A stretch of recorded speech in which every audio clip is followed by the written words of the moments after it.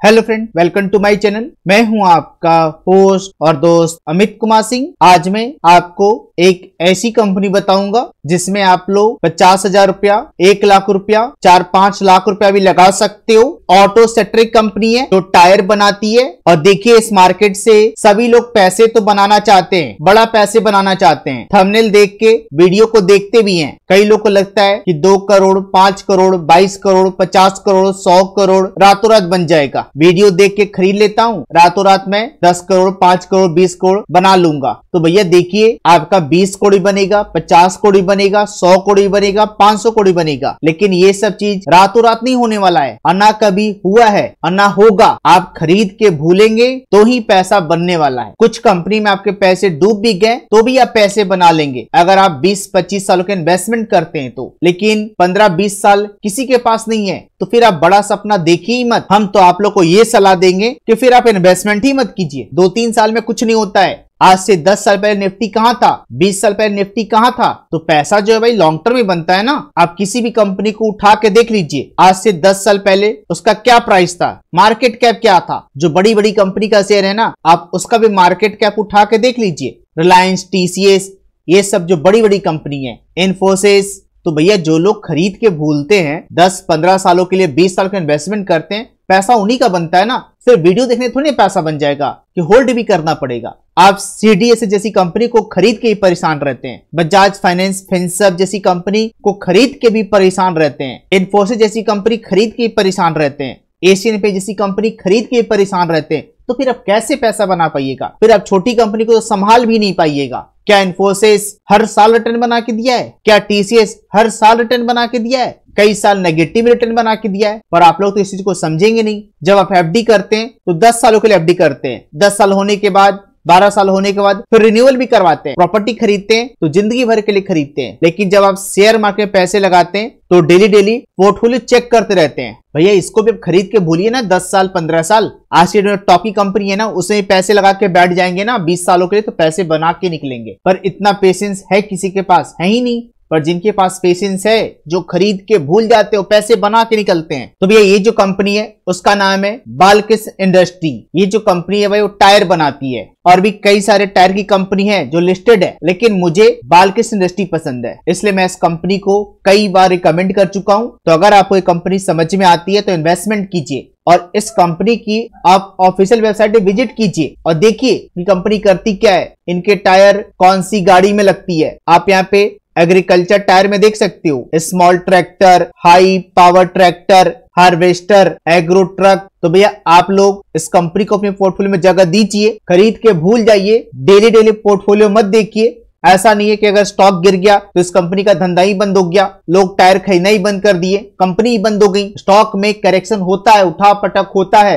Result ये सब खराब आएँगे नेगेटिव खबरें आएँगी दो तीन साल स्टॉक परेशान करेगा, लेकिन आप बड़ा पैसा बनाना चाहते हैं तो खरीद के भूलना पड़ेगा। बालकिस इंडस्ट्री पे मैं पहले भी कई बार वीडियो बना चुका हूँ। क्यों? क्योंकि अच्छी कंपनी थी। आज भी अच्छी कंपनी है। अभी आपको स्टॉक डिस्काउंट ही मिल रहा है। आप लोग को पुरानी वीडियो भी दिखाना चाहूँगा। तो ये वीडियो मैं 5 जून 2019 को बनाया था। और आप लोग को पता होनी चाहिए कि 2018 2019 में न आईटी कंपनी पैसा बन रहा था, न ऑटो सेक्टर कंपनी पैसा बन रहा था। तो उस समय जो लोग भी आईटी कंपनी पैसे लगाए थे, ऑटो सिटी कंपनी पैसे लगाए थे। डेढ़ दो साल स्टॉक नहीं चला, परेशान होकर बेच दिए। मैं भी अगर मिंडा को बेच देता बालकिस इंडस्ट्री को बेच देता तो पछताते रहता। मेरे पास अभी मिंडा का शेयर है। मिंडा तो भाई मैं बहुत पहले खरीदा था, जब बहुत छोटी कंपनी थी, किसी को पता भी नहीं था। किस प्राइस से वीडियो बनाया था, आप लोगों को वीडियो प्ले करके भी दिखाना तो ये वीडियो मैं सात सौ पंचानवे रुपए के प्राइस से बनाया था, और उस समय में कई बार वीडियो बनाया। ऐसा नहीं है कि मैं एक बार वीडियो बनाया। तो जो लोग भी उस समय बालकिस इंडस्ट्री को होल्ड किए इससे भी नीचे स्टॉक गया था।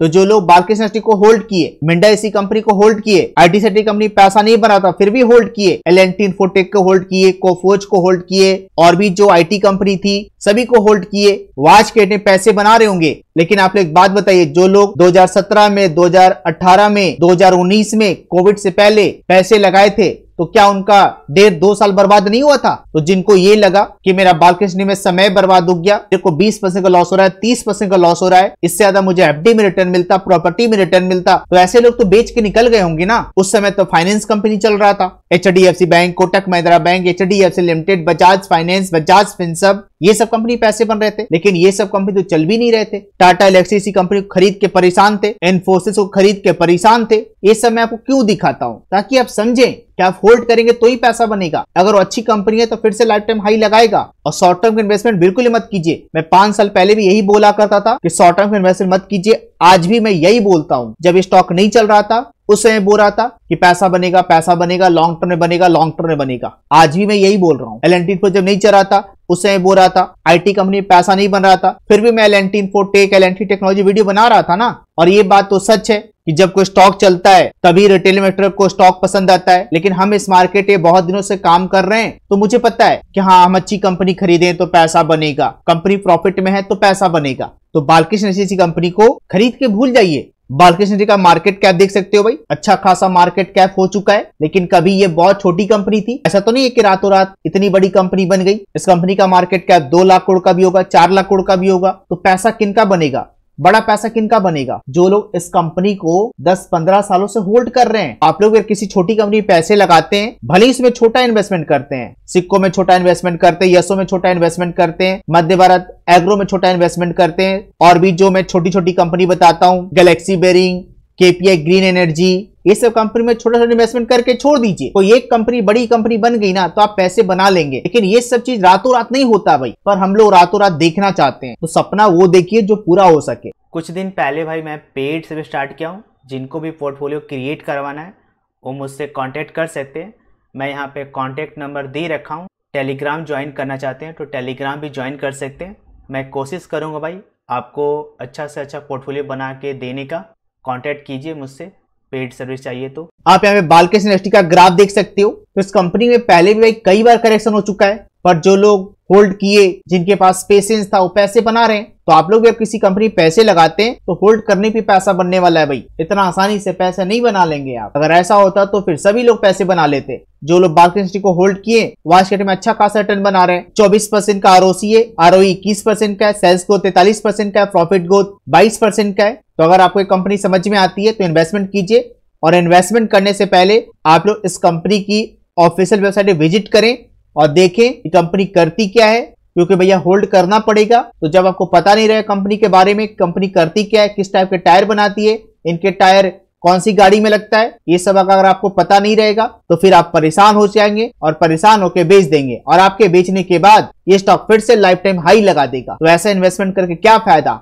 मत इन्वेस्टमेंट कीजिए, क्योंकि इस कंपनी में पहले भी कई बार करेक्शन हो चुका है। और करेक्शन से डर लगता है तो फिर इन्वेस्टमेंट मत कीजिए इस मार्केट में। फिर आपके लिए मार्केट नहीं है। आप एफडी कीजिए प्रॉपर्टी खरीदिए, कुछ और कीजिए। हमें एक कंपनी बहुत दिनों से पसंद है, इसलिए मैं इस कंपनी पे रिपीटेड वीडियो बनाते रहता हूँ। आपको समझ में आता है तो इन्वेस्टमेंट कीजिए, वरना आप छोड़ दीजिए। हाँ पर इन्वेस्टमेंट कीजिए तो लॉन्ग टर्म के लिए कीजिए। चाहे वो छोटी कंपनी हो, फिर बड़ी कंपनी हो। छोटी कंपनी एक साल में पाँच परसेंट चलेगा तो 50 परसेंट करेक्शन होगा। इस कंपनी में अगर आप लोग पचास हज़ार रुपए लगाते हो 20-22 सालों में आप अच्छा खासा रिटर्न बना लोगे। यहाँ पे आप देख सकते हो प्रिंसिपल अमाउंट जो मैं रखा हूँ, पचास हज़ार रुपए रखा हूँ। और देखिए एक चीज़ बताना चाहूँगा। कोई ज़रूरी नहीं है कि आपको पचास हज़ार रुपए लगाना है, एक लाख रुपए लगाना है, दो लाख रुपए लगाना है, पर जो भी इन्वेस्टमेंट कीजिएगा लॉन्ग टर्म के लिए कीजिएगा। पैसे बनाने हैं तो क्योंकि आप दस लाख रुपए लगा देंगे और आपको तुरंत रिटर्न चाहिए तो फिर कोई फ़ायदा नहीं है। क्योंकि आपका पैसा जो होल्ड करने पे बनेगा, आप दस लाख लगाइए चाहे पचास लाख लगाइए होल्ड करेंगे तो ही पैसा बनेगा। लेकिन जब कोई छोटा इन्वेस्टमेंट करते हैं तो होल्ड कर लेते हैं। लेकिन जब आप बड़ा इन्वेस्टमेंट करते हैं तो होल्ड नहीं कर पाते हैं। तो इससे अच्छा आप छोटा इन्वेस्टमेंट कीजिए। रेट ऑफ़ इंटरेस्ट रखा हूँ फोर्टी परसेंट और देखिए एक company thirty two forty percent run बना के देगा। टाइम पीरियड रखा हूँ फाइव ईयर्स और आप यहाँ पे रिटर्न देख लो भाई, बाईस करोड़ और ये बाईस करोड़ पच्चीस साले बनेंगे और आज के डेट में पचास की वैल्यू क्या है भाई? कुछ भी नहीं है। कुछ भी नहीं है। और किस तरह से टर्न बनेगा, आप यहाँ पे देख सकते हो। वही लोग मेरे लिंक से डीमेट अकाउंट ओपन कराएँगे। उनको इंटर डिटेल्स फ्री में दिया जाएगा। अगर फिर मेरी वीडियो अच्छी लगी हो तो लाइक करना शेयर करना सब्सक्राइब करना। पहले से मेरे चैनल को सब्सक्राइब कर bell button press bell button press नहीं करोगे तो मेरी वीडियो का नोटिफिकेशन आप लोग को मिल नहीं पाएगा। आप लोग क्वालिटी कंपनी पैसा लगाए, तभी जाके आपका पैसा बनेगा लॉन्ग टर्म में। धन्यवाद।